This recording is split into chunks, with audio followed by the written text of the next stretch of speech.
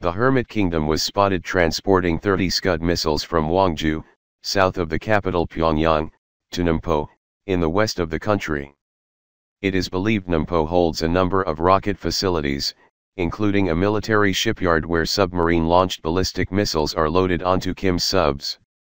And experts have warned the tubby tyrant is getting ready for a major show of force next Wednesday, as the Chinese Communist Party holds its 19th Congress. Kim Jong-un is thought to be angry with China after North Korea's only ally sided with Donald Trump to slap sanctions on the Hermit Kingdom.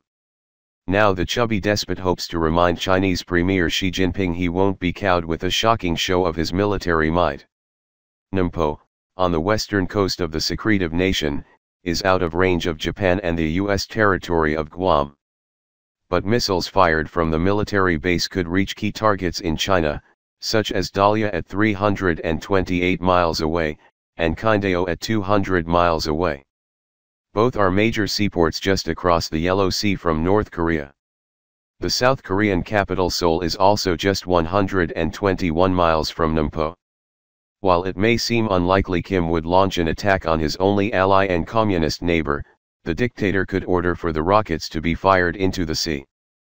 The move would maintain relations with China, but would also send a message to 11 Jinping that North Korea is still a force to be reckoned with.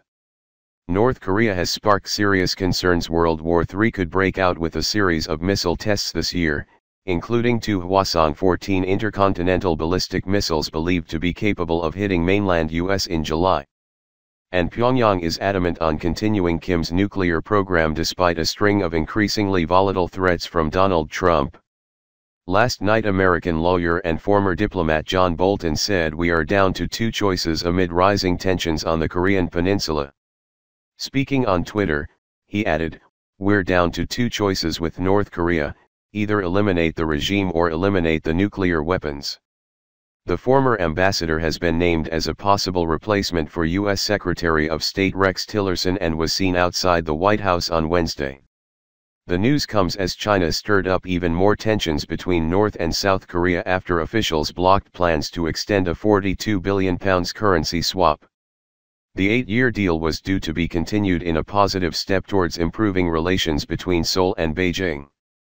But tensions between the states have been frayed over South Korea's recent installment of a controversial U.S. missile shield, the Terminal High Altitude Area Defense System, to counter an attack from North Korea.